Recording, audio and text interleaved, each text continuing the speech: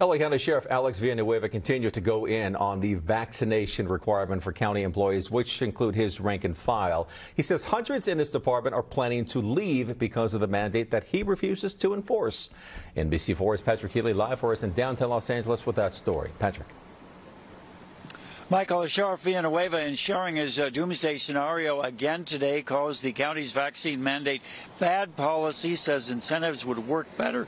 But in the meantime, his vehement stand raises a question has it played a role in more deputies not yet getting vaccinated?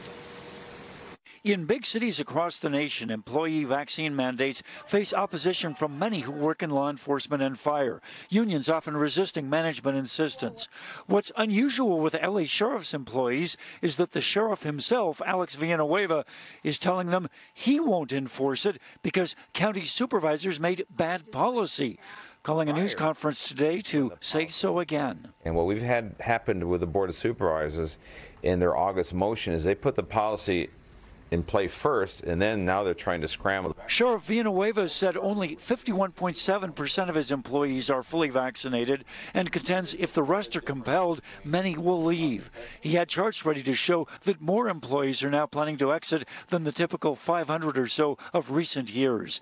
Planned early retirement up 20%, including many senior deputies. Because they've already maxed out their retirement benefits and they can simply just walk away because they're just fed up with the nonsense going on in county government. Sheriff Villanueva has repeatedly clashed with LA County supervisors as a fellow elected, not appointed official, and repeatedly criticized their policymaking, accusing them of jeopardizing public safety, in this case by putting deputies on the spot. So imagine what would happen if every one of these was forced or was terminated. Villanueva says he himself has been vaccinated and rejects only the mandate. And the collective risk does not justify this type of an intrusion. But is he saying deputies are in this sense above the law?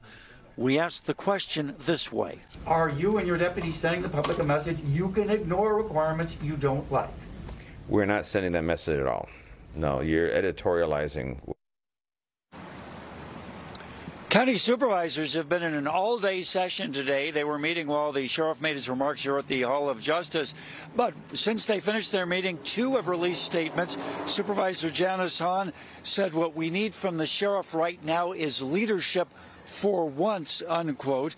And Supervisor Barger was more conciliatory, but she still chided the sheriff for not meeting with her, talking with her to work out a solution. Now, LA County initially set the beginning of last month as the deadline for all of its county's uh, employees to get vaccinated. It later moved that to the middle of next this month. Now, two weeks away. At last count, about 65% of county employees overall were fully vaccinated. Reporting live downtown, Patrick Healy, NBC4 News.